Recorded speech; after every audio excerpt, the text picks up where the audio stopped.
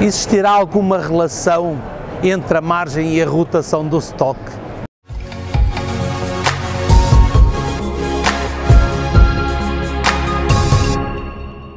Esta matriz é muito interessante porque relaciona a margem, portanto aqui carros com uma margem bastante elevada e aqui carros com margem reduzida, e no outro eixo mostra carros que rodam rápido e carros que demoram muito tempo a ser vendidos.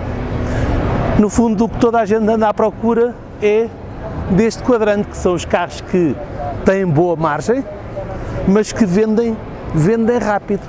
Nós vamos falar muito sobre este tema na World Shopper Conference, num workshop dedicado a estas temáticas.